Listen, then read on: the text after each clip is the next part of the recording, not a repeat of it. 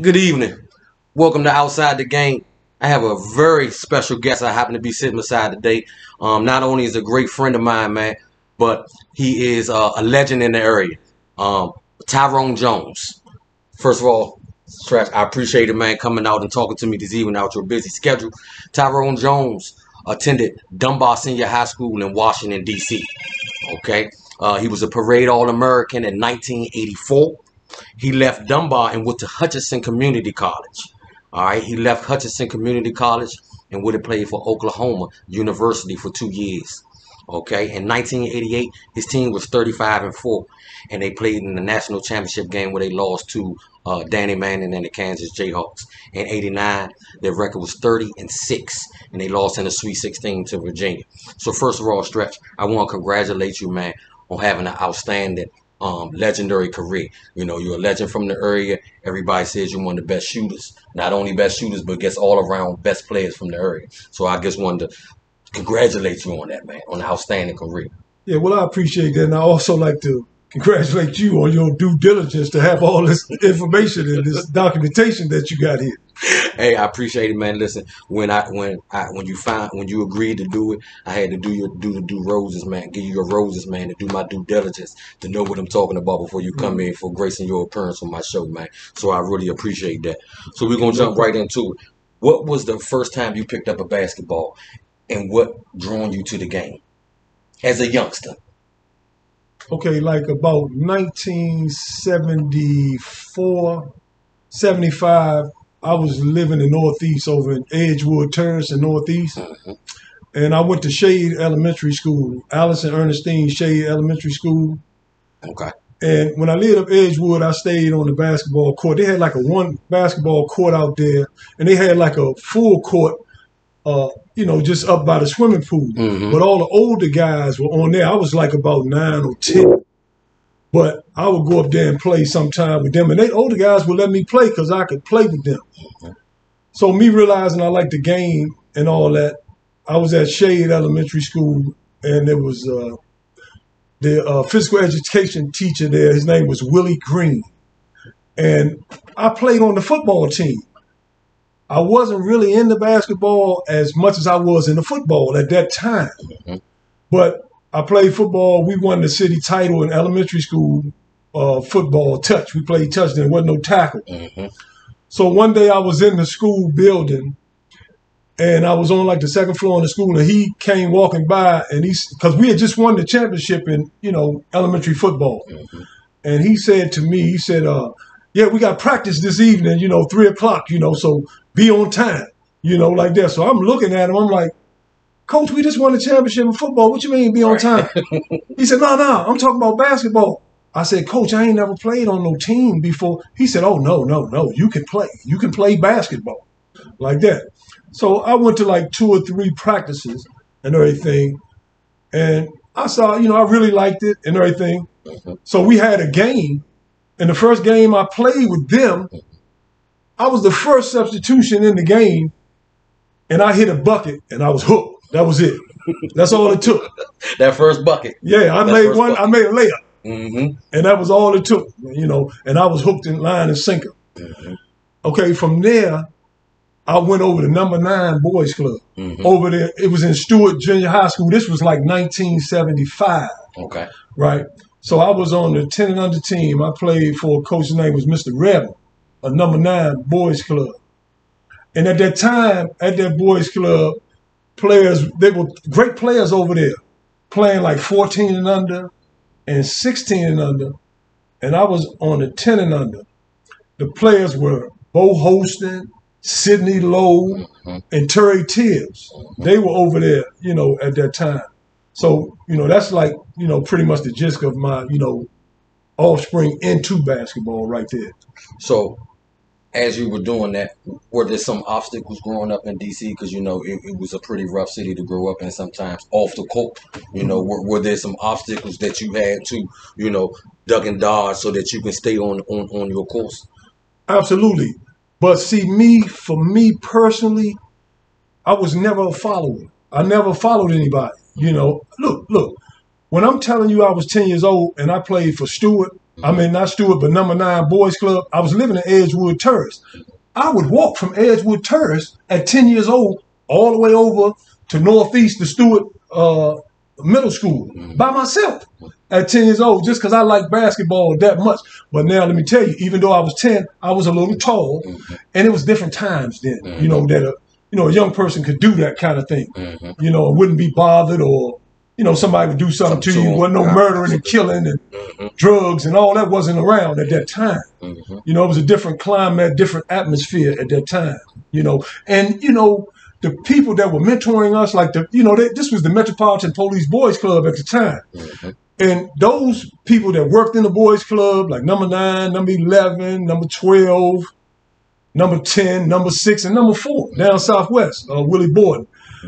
Those people were really interested in young people and all that, and they, you know, kind of pretty much made sure that we stayed the straight and narrow and stayed on the course. You know, of you know just being a good, you know, student, a good kid, and all that. You couldn't, you know, wasn't all that. You couldn't act out and all that. Because see, back then the boys club, you remember now, they had that paddle. That's right. They would, they would, right. yeah, they had that paddle. Yeah, yeah, yeah, So yeah. Amongst that time, when did it all start coming together? Like before you got the house, when did you know that okay, this might be something I can really, I can really go further with? When did you know you was going, you good, and it started clicking? The eighth grade. Eighth grade. Okay, I left uh, uh, Shade Elementary School. hmm My mother and then we moved over southeast. I went to Washington Highland Okay. Elementary School. Okay. Okay, by this time it's like 1977. I'm in the sixth grade, and I played on the team. You know, we played Kramer, Jefferson, all them Douglas, Johnson. All us was in the same, you know, division, right? So man, I noticed, you know, I was the lead scorer for friendship. You know that you and I was, you know, doing that. But I really liked the game, and I knew that I could do some things on the court. But a lot of things, like a lot of people didn't know, I used to practice a lot by myself, right? hmm But the jump shot that I developed, I'm gonna tell you how I developed my jump shot. This is no joke. That was gonna be a question I asked you because you are a legendary shooter. So tell them some of the things you did and how you developed it. Okay. Back during that time, I was a huge Bullets fan, right? My favorite player was Phil Chenier. Phil Chenier. Yeah. And if you look at my jump shot and you look at his, they are identical. Because I'm going to tell you what I did. I was like 10, 11 years old. Back then, you could go downtown and where it was the, you remember, it was the Woodworth, Woodworth and Lothrop, hmm or the heck, one of them. Mall or whatever that no, was over there. No, it was the wood right there on. I'll tell you where it's at. It's something else now, like that 21 and all that's in there. It's right there uh, where that uh, wax museum is now. Oh yeah. It was right there. Okay. Right. Okay. A bus used to come right there hmm to take people to the Capitol Center back then, like 19. This is like 1976, 77, right in there. And if the ride, I think it was like 25 cent, and you could get a ticket to the Wizards game. I mean, where they was Bullets at the time. for Yeah. five dollars, right? Mhm. Man, I used to save my money, right? And all that. I would go down there by myself. Well, it was a kid that played with me in elementary school. His name was Michael Kennedy. He went to Shade with me. Me and him used to go down there and catch that bus and go out to the Capitol Center. We would get out there so early that I could I would slip all the way down to the floor and I would sit down there on the floor and I would watch and study Phil Chenier, right? I said, okay. I said, he goes up. He goes up. And I said, when he get to the top of that joint, he lets it go. And I used to go down Friendship and all of that and up Highland when I was um, you know, growing up and everything. And I would emulate Phil Chenier and all that and till I really perfected it. How many jump shots did you shoot a day? Back then, I was a kid. I think I was shooting maybe 150, something like that, 200. But all that increased over the years. And with time, once I saw I could shoot it, you know, and all that thing. But it was uh, Phil Chenier that was the spark behind the jump shot, who I studied, you know, shot to develop my shot. hmm And for the, all those of you who may not know, you may want to check Phil Chenier out. He was a bad mama jamma. this is before, I mean, but he's not really talked about when he's talking in that time. When you talk about some of the greatest players, a lot of times he's overlooked. But Oh, he, yeah. but he was definitely, definitely uh, real smooth. I, Real I smooth. liked his game.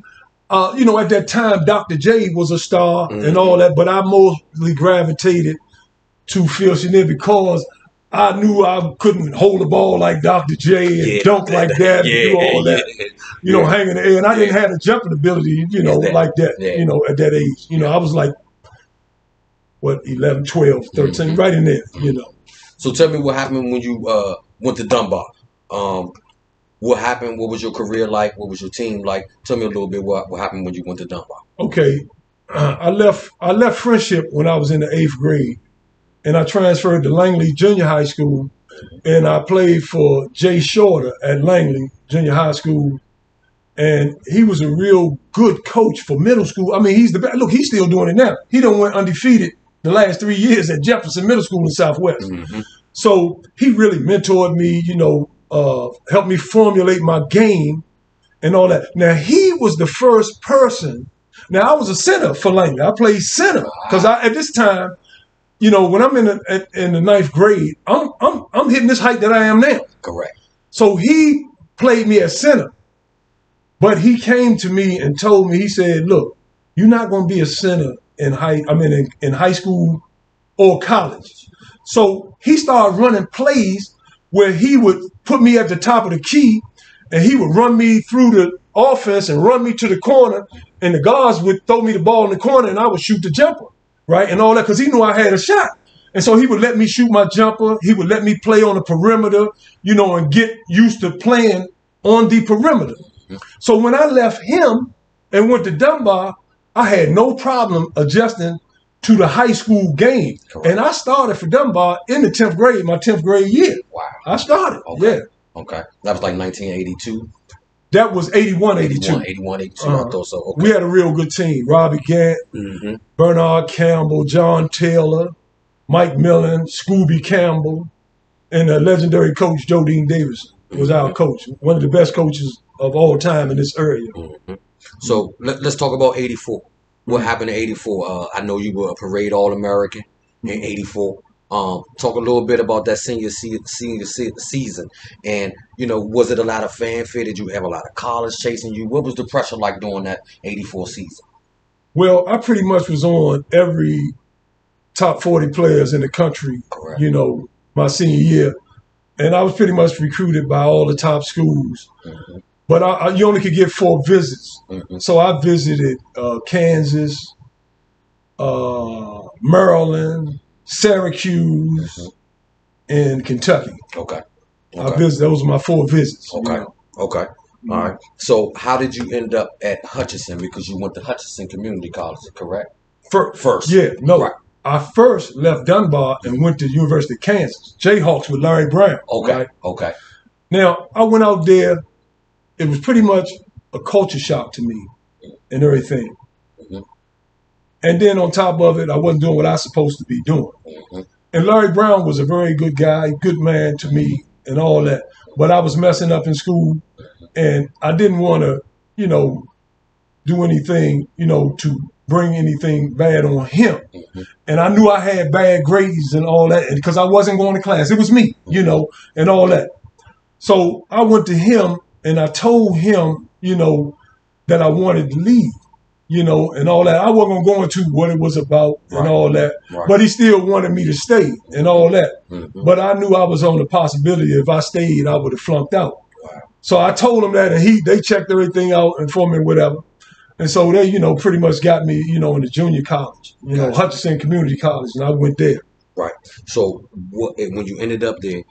What was what was what was your mindset like? Because you had just made a mistake, Mhm. right? And and you went to Hutchinson, and I'm sure that you know wasn't where you planned on being. You, Right. did, you never expected that at that point in your career that you would find yourself messing up and be there. So, what was your mindset like, and what was the best experience that you got from there? What did you learn from there? That, uh, because obviously you learned something because you went on to Oklahoma. Right. So, what, what did you learn from from Hutch- Hutchinson in that experience? Okay, I went to Hutchinson, you know, from um, uh, uh, Kansas Mhm, because you know the grade thing and all that. mhm. All right, my initial plan was only stay there one year, right? right, And I was okay. thought I was going to be able to go back to Kansas, right? Okay. Well, that was the plan. And after that one year at Hutchinson, I had a good year. I, you know, I think I averaged about 17 points, about five, six rebounds. Mhm. Again, we went to the national uh, title. College Title. Mhm. I mean, now we went to the yeah the national tournament. Mhm. We lost in the semifinals to Ledell Eccles and San Jacinto. Wow, okay. Right, Tyrone Shaw. For the Bullets. Yeah, yeah, yeah San Jacinto. Yeah. Mitch Richmond was out there playing in that tournament at, at the same time. He was playing with Moberly Community College, right? Okay. Okay. At that time, right? Wow. And all you know, all of us made the all tournament team hmm uh, in the national junior college tournament, right? Mhm.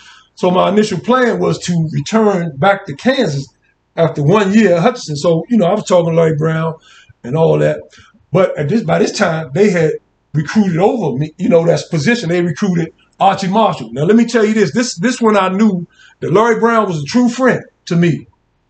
He told me that, and he told me that Archie Marshall was going to play that three spot for me, and that I needed, you know, to go somewhere that where I was going to be able to play and that I was going to start and get playing time, right? So I never held any, you know, ill feelings for him, you know, not accepting me back at Kansas at that time and all that because, you know, that was, you know, his team and he had to move on because, you know, I- understood it, you know, and all. that. I wasn't bitter or nothing like that. But it was part of my motivation to go to Oklahoma, though, to play against them, too, though. Just So, to you burn know. him for that. Yeah, Yeah. I get it. I get Yeah. that. But they end end up burning me as well to get into that later. Okay. all Yeah. right. So explain for um the kids that may be watching too, because you went from uh explain the differences of practices and on the level of how hard you got to work for from because you went from Dunbar to Hutchinson. I mean, uh, to Kansas to Hutchinson. What was the difference like when you made them them them uh the moves? You know, because coming from Dunbar, what was the big adjustments and what was the adjustment from from uh, Hutchinson going to Oklahoma? What was the practice style like? Was it more intense? Uh, did you have to work harder? Tell the kids a little bit more uh, uh, of the big differences because sometimes I don't think kids understand how difficult it is when you're going from high school to college and, and how you got to prepare for that game. Well, first and foremost, let me tell you this about pretty much college basketball. When the college basketball coach says that practice is at three o'clock, he don't mean you come walking on the floor at three o'clock. That means you're on the floor, dressed and ready to go at, At three. three. So it's way more structured. Everything is uniform. The practice is on paper. We don't see the paper, Right. you know, because they they don't want us to know what's going on. Right, but they have. But it pretty much flows, you know, right through Mhm. and everything. And you know, you start out, you know, doing drills and all that kind of thing. You know, then we break into groups, the guards, the forwards, Mhm. the centers. They all work with a, a coach, Coach, right? that's you know doing stuff for them to help them, you know, to be able to you know be better at their position. Mhm. And they showing them things, teaching things, and all those uh, sorts of things. Uh, You know, that's what's going on. But the biggest difference I've seen from you know pretty much uh, high school and college basketball is it's more structured. Okay. You know, and you know it's more structured. More it's more and it's more business, Mhm. like a business. You know. Yes, yes, yes. Uh, so now you get now we go to eighty eight when you get Mhm. to Oklahoma. hmm Uh, you guys end up going thirty five and four in eighty eight, right? You Yeah. had a bullseye on your back all year, Mhm. right? And in that year, you had three impressive win streaks: Mhm. fourteen games, hmm 12 Mhm. and nine in a row hmm on the way to the national championship game. Along the way, you played guys like Pervis Ellison, Danny Manning, Chris Jackson, better known as Abdul Rauf, Stanley Roberts, Sean Elliott, Steve Kerr. You played against a host of people, Oh, you yeah. know, uh, on that. To me, though, I'm gonna tell you, the best player I played against in college I was going to ask you that. was Willie Anderson. Played at Georgia. Willie Flipping Anderson? Yeah, played for, the Spurs. Yes. He, to me, Wow. man, him became real good friends too. okay. He was probably the best player, most skilled player that I seen in college. I was wowed by him. Mm-hmm. He was a phenomenal college player, right? Wow. And all that. He was probably the best that I seen. You know, I mean, I like Mhm. Sean Elliott and all those other guys you named, hmm but he was pretty much the best. Now, let me not sell the players, the teammates that I had that played with me. I was just Not- about to, I was about to get to that. Let me get let me that. not sell them Oh yeah, because you played with in '88. You had Harvey Grant, Stacy King, and Mookie Blaylocks, and yourself. And Ricky And Grace, Ricky Dave Grace. Sieger. So my, my question for you: so throughout up until that time, you were usually the man hmm at on your team. Right. So coming in '88, you had them three guys that you knew were going to be the linchpin of everything. Right. So What was the adjustment like? Because you was used to having being a volume shooter, having the ball in your Right. hand, and now you come to a situation where it's not just a good team; it's a lot of expectations for you guys. You guys are expected to win. How did you how, how did you make that adjustment to playing with those guys on the court, going from a guy who used to having the ball all the time, and now you were kind of a, a role player more, so to speak? Well, I was already in training for that. Okay. And let me tell you what I mean. See, I went to Dunbar because Dunbar at that time was the prestigious program along with the Mather hmm and you know some other you know teams in the area. But mainly at that time it was Dunbar and the Mather. Mhm. Both of us, you know, would get great players. So I'm already used to playing Right. with guys I had to share the ball with. Gotcha. So I didn't. I, I never wanted to be a big fish in a small pond. yes, I wanted to be able to play with other good players Mhm. and all that. Now, when I went to Oklahoma, I knew I had already played against Mookie Blaylock, Okay. Harvey Grant in junior college. Both of them played junior college. I went there. I picked Oklahoma specifically because they were there, and I knew we was going to win. Okay. You know what I'm saying? I wanted to play with guys, and I wanted to win. I'm a competitor. I'm, I don't care, you know, how good somebody else is and how good that player is. I'm going to mesh my game and all that, and we're going to flow together, and we're going to develop chemistry and play, you know, good basketball together. hmm So on, on that team, how did you guys manage with so many different personalities and egos? Because you guys were all good. How did you guys mesh together? Was it an easy fit? Did you guys fit together real good, or were there some adjustments at some point during the season, or was it just a, a smooth transition? Well, let me put it this way. A couple of us hung with each other and dealt with us. A lot of us didn't, though. hmm But I'm to tell you one thing about these guys hmm that when we got on that court, we were in unity with each other. We got along on that basketball court, no matter what, because we wanted to win. That's right. You know, Yep. Uh, I mean, s- certain guys didn't like each other. Sure, that happens on teams and all of that. That happens. Mhm. Now, I'm gonna tell you something about that team. You say we lost four games, right? I'm gonna tell you a secret. A lot of people don't know. Two of those losses were back to back. Wow. We lost to LSU in New Orleans at in New Orleans, right? At the University of New Orleans, right? I think Missouri was one of them. I, I read yeah, about that. yeah. hmm Uh, we lost. No, we lost to K State first. Okay. Then the next game was at LSU. They beat us. We lost back to back, right? Okay. When we got back, we had a meeting and everything. We had a coming together. So we just had to refocus hmm and recharge, and then we was went bam right back on another winning streak. Yeah, because when when you when you have a highly talented team like that too, you're getting everybody best shot every night. Yeah. everybody's getting up to play you. So that's why I say you you, you guys had a bullseye on your back all year. Because if, if I'm not mistaken, you was in the top ten all year. No, no, Y'all- no, no. Look, we, we we we wasn't even in the top ten then. Okay. At that time, nobody started recognizing us to after that those losses when we took off again. Okay. We Okay. wasn't even in the top. If you look it up, the top ten, or you look it up before those two losses, mm-hmm. Yeah. LSU and Kansas State, we were not in nobody's top ten. Wow. We barely just cracked the top twenty-five at this time. Okay. Right. Okay. Yeah. Okay. So, how did things change for you off the court '88? Because Dylan did. Were there some adjustments or some things that you know you had to adjust to because you were? I'm sure you got more attention. You know, you were on a highly talented team. Did how did things change for you off the court? Did you have to make any adjustments?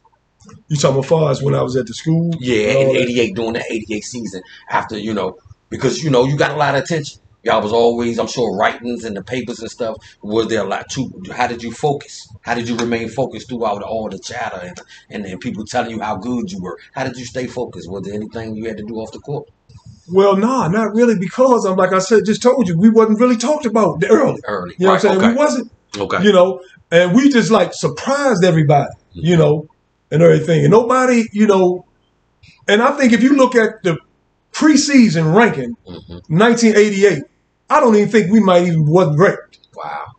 I only think we were ranked, you know, coming into that season. Yeah. And we went 35 and 4. And and what's really impressive is, uh, like I told you, we was talking before the show, and they have you guys as one of the best Mhm. college teams ever. Well, absolutely. We we averaged a lot of points. You know, Billy Ball, Billy Tubbs was the coach. Mhm. At Oklahoma at the time. We played a thing called Billy Ball. Yeah, when. Billy Tubbs, you know, used to play, Mhm. you know, tells you, hey, break the score clock. hmm But hey, we were very good defensively. Mm. We had Mookie Blaylock out there out front, and Harvey Grant was a great uh, uh, uh, defensive player. Mhm, And, ball. uh, you know, Stacy King was a great defensive player and a rebounder. Harvey, I think Harvey and Stacy averaged double figures in rebounds and points. Mhm. You know, so that was a you know big uh, part of our team. We were a smothering team on defense. We could score, but we shut people down too. Mookie Blaylock wouldn't wouldn't let certain you know guards couldn't get up court. They would switch their point guard so many times during the game. Mookie Blaylock, you know, created confusion. Mhm. I remember we played in the tournament that year in '88, where they went from this guard. I, I can't re- Williams or something. He was left-handed, right? Now by the ga- game end, LaBradford Smith was playing the point because Mookie had messed this kid up so bad he couldn't dribble up the court anymore. They took him out. They had to take him out. Yeah. And that's that's that's Mookie terrorized that kid. that, that's the true definition of strapping somebody up right there. Yeah, but Mookie did that on the regular though. To a lot of guards. hmm He was a thief. Uh, uh, uh, uh, he was a thief. He could steal the ball, man. He was real tricky with that. Now I'm gonna tell you something about Mookie. When I first met him, you know, one of the first things he told me, and look, this blew my mind. Now we talking, we ride. He driving. We in the car. He, he- I'm just riding with him. He driving, right? So we sitting in there, and uh, we talking basketball and whatever. He looked over at me. He said, "Yeah, man. Uh, I steal the ball." I looked at him. I say, "You steal the ball?" Right. What, what? I said, okay, you know, I said, well, I scored the ball like that, right? Now watch this. We go and we play pickup with each other, the team and all this, right? We playing basketball and all that. He on the other team, and I'm we just, you know, we have free play in August. We scrimmaging. Right. Man, nobody could get up court. I said, I'm scratching my head. I said, oh man, that's what he was talking about. Wow. It was incredible Wow. that he could steal the basketball. He was had the quickest feet that I ever seen, man, from point A to point B. He'll fake a dude over here, and by time the person like went behind his back and was over there, Mookie was right there, getting that jump and going the other way down the court, scoring a layup, man. Wow. So after that 88 season, um, we talked about it ended in a loss to uh, Danny Manning and the Kansas Jayhawks. Going into the 89 season, what was your mentality like? Because you guys still uh, had a lot of returning people from that team. Harvey Grant was the only one to go on, right? Uh huh. And Mhm. so you used Mookie and Stacy, you guys returned for another year. So what was your mindset like going in '89? And I'm sure you probably had a bigger role Right. to prepare for too. Right. So talk about the mindset and how you got prepared for that season. Well, I well that season I stayed out there and I stayed, you know, out at the University of Oklahoma and I was, you know, getting in shape and everything because you know this was my senior year coming up hmm and I wanted to be ready and prepared for the season. So I stayed out there, worked on my game and everything, you know, you know, try to work on my rebounding, ball handling, you know, and other things, passing and all that. For me, it was all about the team at all the time. I never really, you know, anybody to tell you that played with me, I, I never was a selfish ball player. You know what I'm saying? I always shared the basketball because I like winning more than I like individual accolades or any of that kind of thing, right? Any player that played with me would tell you that about me. I shared the basketball. I was not a greedy player. I was not a, a high volume, you know, shooting player from the field. You know, I, I wouldn't shoot no 20 shots and all that, whatever. I, I'd take at the most, at the most, 13 or 14 shots a game. You know, I was just efficient, you I know. say you uh, were very efficient. yeah. there. You shot in high 40s and 50s. yeah, for, I shot like about 46% right in there. And I was a jump shooter. I played on the perimeter. So that's huge. You Yes, know, yes. Uh, I averaged like about 13, 14 points a game my senior year hmm at Oklahoma, about six rebounds, five, you know, five, six rebounds hmm and all that, you know. But my main objective and all that was winning. I cared about the team and all that. And I wanted our team to go as uh, far as we could. Hmm because see the game of basketball man is a game of cooperation right?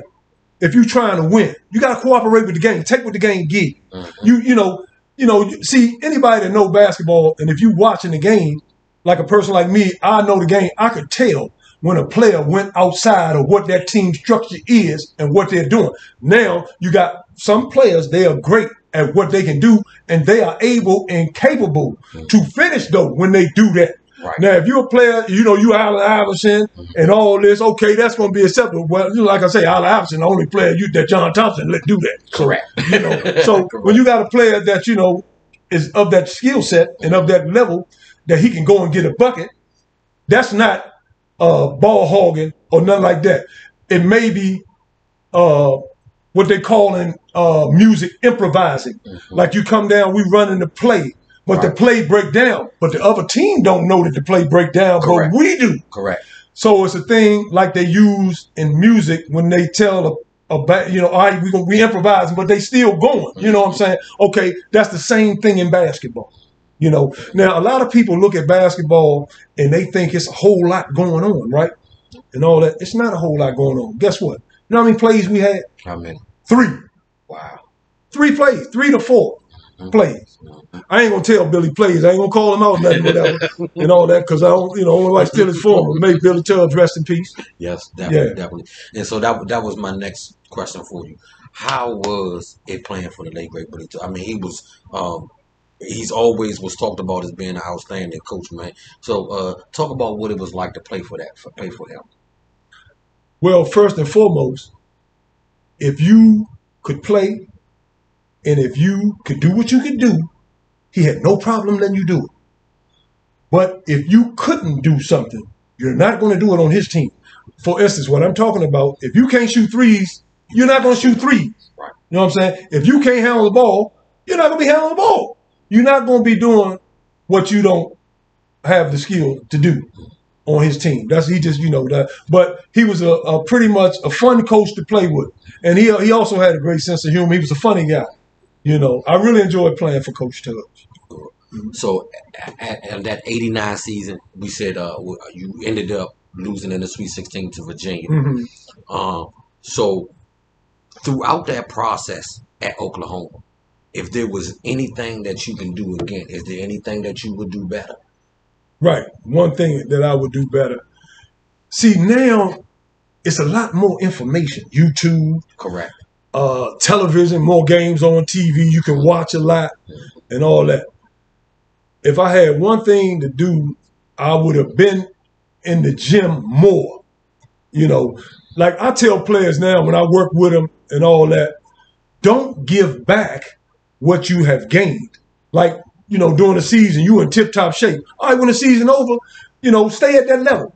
You know, don't give back your strength, conditioning, and endurance and all that that you have picked up during that year. Stay in basket. I call it staying in basketball rhythm. Yeah. Now, I didn't know nothing about that during that time. If it was an information thing, I trained to a couple of players and all that, and I was just testing my formula on them. And I made sure with these players, and they're two two of them. They're in high school now. I'm not going to say their names because I don't want to put them on the spot.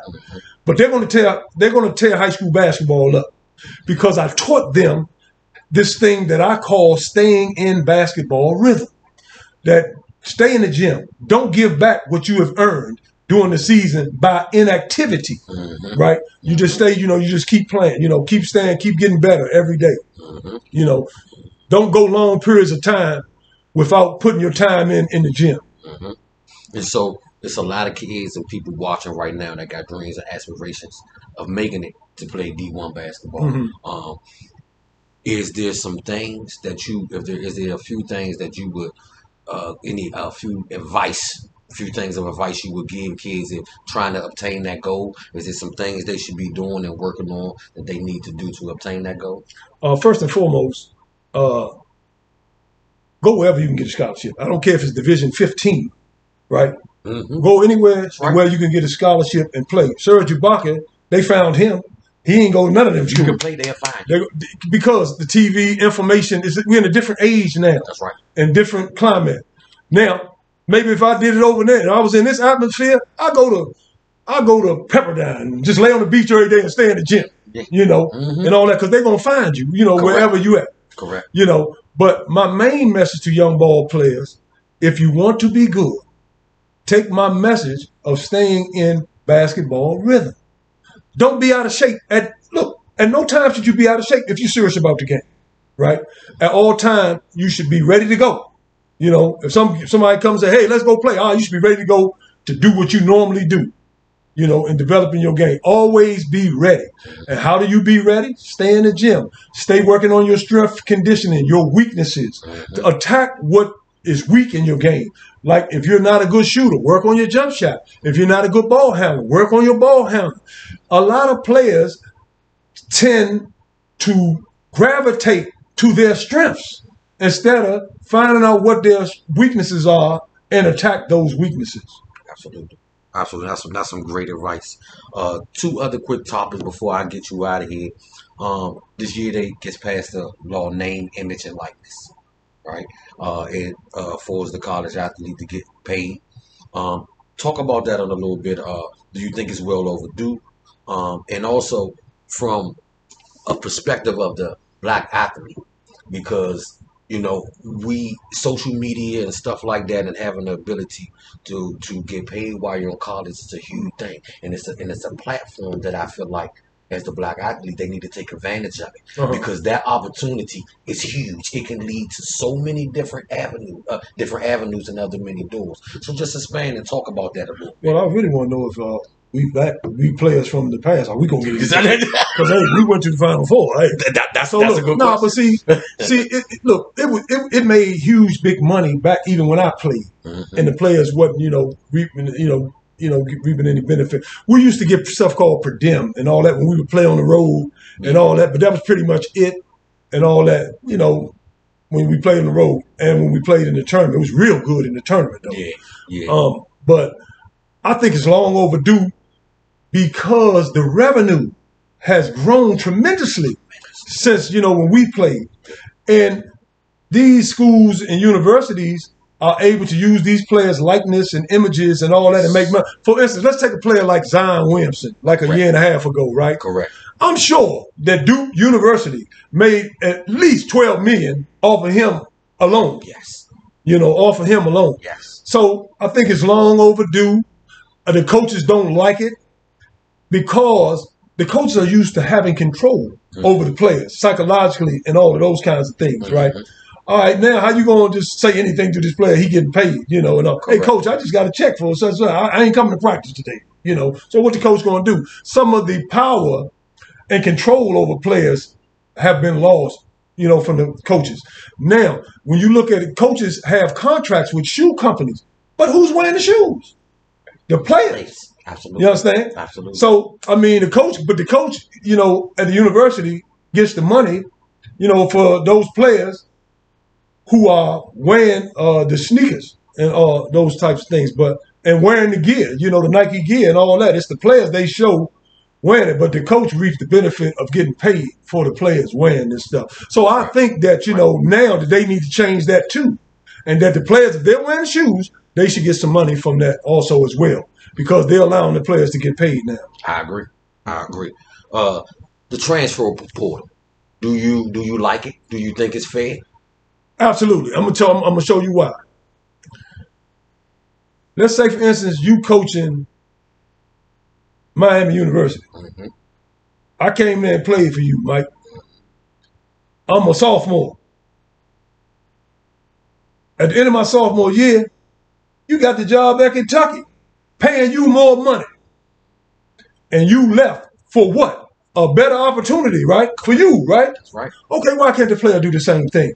Now, and the reason that I number one, the number, my number one reason for this is this: when that new coach comes in there, he's inheriting somebody else's player. He did not bring those players in there, so he has no loyalty to them whatsoever. And guess what? A lot of people don't know this about college basketball. Scholarships are year to year. People holler, "Oh, he got a four-year ride." No, he don't. No, he don't. That coach can take that scholarship away from that player, and that player got to hit, got to leave and hit the road. The coach, the new coach, can do that. And You see, know. that that affects so many kids' lives too, Mhm. and, and it could send that send them down the wrong path. Some Absolutely. some some people aren't uh, like when you made a mistake, you had the fortitude Mm. and to to, to re, reset yourself and, Reestablish. and reestablish yourself. Mm. Some kids don't have that foundation, Mhm. and and they aren't able to recover Mhm. from something like that mentally. Right. Mentally, you know, so I definitely agree with you because that they Right. all definitely a, a psychological gizmo for the player because that coach that left went there to that kid's house and talked to his parents. and told him I'm gonna take care of him. Yeah, and all this and that. But yet he jetted on the jet skis, you know, and he was Yes. out of there, you know. Yeah. So, I mean, look, I think that in college basketball or football, Mhm. if the coach that recruited that kid and brought him there leave, that that player has the right, you know, to transfer and find better pastors for himself, like that coach did Correct. that found him for himself. That's right. Because I mean, ultimately, they're, they're doing what's better, what's best for themselves. Right. And there's nothing wrong with that. Uh-huh. That, that I mean, we always say it's about the kids. Right. that, that's what you know. Yeah. That's that's what they say all the time. Yeah. So if it's really about the kids, then make it about the kids and, and don't hold them back from going to make a better decision for themselves when a coach has the ability to go because Right. the coach Because see, what a lot of people don't see this as is for the coach. This is his his career goal to be a college head coach. This is how he lives. He feeds his family. He makes his living. Mhm. See what I'm saying? So he's very serious about his job right. and all that. So that's why, like, when coaches, you know, get co- jobs at Major Division One, and their see their number one objective is to get to that tournament, you know, and all that. You know, you at these major Division One schools. I mean, you got really basically two years. You know, if you don't get that tournament, hey, might be out of there. Mhm. Boom, that's it. And I've had uh, you know, uh, Brian Hill. I had Mhm. Brian on the show, Mhm. and he talked about how sometimes he he was pressured into playing like if he was not at hundred percent. The coaches will be like, you know, they need him to play. Mhm. You know, when it's time to make tournament games and you know and all that stuff, they they they want you to play. And some and he said sometimes he remember times where you know he pushed through things where he was just encouraged to play because you know he felt like yeah, there was a big game and they needed. Right. Look, let me tell you this. College basketball coaches don't play with players. They got 30 games, right? They got 30 games to make that turn. Now, that's what the president, the athletic director, and all that uh, evaluate him on. Did we get to the tournament? You get a coaching job and you're a new coach, within two years, you better make that tournament or you might be out of there because that's their ultimate objective to get to that tournament. And that's how that goes, you know. So, and like, you know, like a lot of college coaches don't tolerate players who get in the game and be trying to do their own thing. You know, get on the floor doing all that because, hey, like I just said, that coach is trying to make that tournament. You're disrupting that by not playing the way he wants you to play and all that. You're affecting his livelihood. Well, uh, I just want to tell you, man, this, uh, it, it's been a pleasure sitting here picking your picking that great mind, man. Yeah, you man. know, uh, we've talked many times before, and I've always picked your mind, even when I was younger. Uh, you know, I always appreciated you encouraging me when you Mhm. saw me out there working by myself, Yeah, doing things like you told me to do, Yeah. put them shots up and get and get Mm. your game up. yeah. And I and thank you from DC, man, because I know that you are mentor Mhm. to a lot of kids Right. in our community, man, and we need it right now Yeah. we, we need a lot of guys to step up and, and help these kids, man, and, and help them mentally, you know, and not just use them for their talents and see them going someplace, but to really care about the kids, man, and help them, and just so they can be successful human beings. Right. Well, my major message to you know young athletes in sports that play football, basketball, or any sport in college is, hey man, go to any school that you get a scholarship. The ultimate goal is to get a degree, That's right. and for me, that would be satisfactory enough for me that I see you know a young person or a young kid go to college and get a degree. I don't care if it's at Jablip University, as long as they go to school, finish, and get that degree. And, and, and, it's, and you learn so much going away to college. It's Mhm. life experiences, and you know you meet a whole different uh, uh ethnic of people. Everything's different. Oh yeah. You know, it, it- it's not like when you just stuck at your at, at, in DC or your home or Virginia. You go out and you meet so many different people. it definitely enriches you. It it broadens your horizon. You see life from a different perspective. Right. You see real professional people a lot of times, and you get to interact with them and deal with them, and and all those sorts of things. it has made a great impression on the person that I am today because of my relationships that I had with people that I met along the basketball, you know, travel. I, I, I agree. Uh, I don't know what I would have did without the game of basketball Mhm. myself. You know, it, it has brought so much to my life. Mhm. You know, I, I friends like you, Brian, people who that I consider friends, I Mhm. met through the basketball realm, Mhm. and just the relationships that you build, and they're friendships forever. And- Well, like when I was on my way here, man, Jarvis Basnight called me that played at UNLV, you know, running Rebels and all that. And it's just like, you know, a fraternity. I talked to Mookie Blaylock, regular Harvey Grant, Stacy, all those guys. I talked to, you know, you know, a lot of, you know, ex-players that I played with. I talked to the, today, I went up to Carroll to watch the football game. Mm. Carroll played Bullets, and the athletic director is Brian Ellerbe. He was the head coach at Michigan. Me and him talked for about an hour while I was up there okay, today. So it's just you know a friendship and a connection that you make with people that's in you know the you know to the basketball thing that you know you just have a lifelong friendship.